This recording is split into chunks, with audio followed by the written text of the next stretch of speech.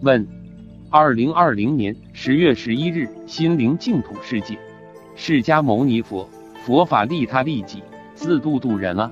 你们学佛后明白佛理，去实践应用，又令旁人觉悟本性光明，这就是自利利他，度自己也度别人啊！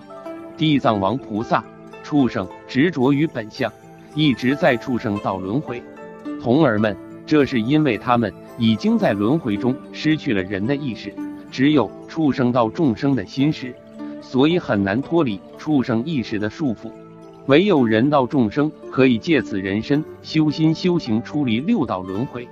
佛弟子们要转凡成圣，不能有任何的畜生意识和行为啊！畜生道众生非常贪婪，欲望不断。你们要去除欲望，这是让你们堕落的根源。佛菩萨见众生堕落畜生道，慈悲心起，让你们吃素，就是免他们受刀害之苦。身为佛弟子，一定要吃素啊，不能贪吃众生肉，要慈悲啊。大势至菩萨，恶念一起善自毁，私心一灭慈即现。童儿们。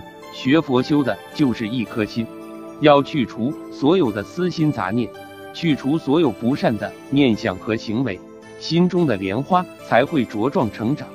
弟子，马来西亚，二零二零年十月十二日。